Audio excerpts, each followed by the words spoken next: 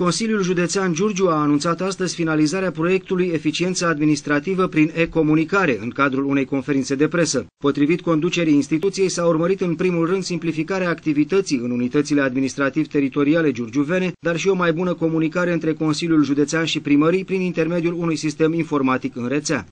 Printre multe alte domenii pe care am încercat să le abordăm în acest mandat, Dat fiind uh, această tendință foarte clară și încă accelerată spre informatizarea administrației, am încercat să convingem uh, cât mai multe unități administrative teritoriale din județul Giurgiu să participe la un proiect care exact asta și-a propus, să folosească toate facilitățile oferite de internet, de comunicare electronică, pentru a simplifica activitatea dumnealor în primării, pentru a pune la dispoziție cetățenilor într-un mod uh, mult mai rapid și organizat și ușor de vizualizat orice informații necesare.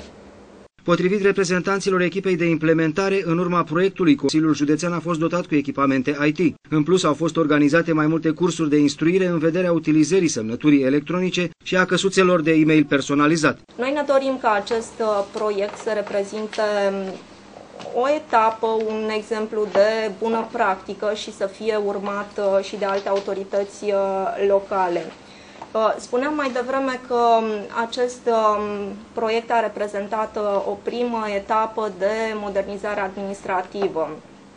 El nu a făcut um, altceva decât să continue dar la o altă um, etapă de reformă administrativă, ceea ce s-a început la Consiliul Județean Giurgiu printr-un alt proiect la nivelul anului 2009, uh, proiectul uh, Mesaj uh, Giurgiu.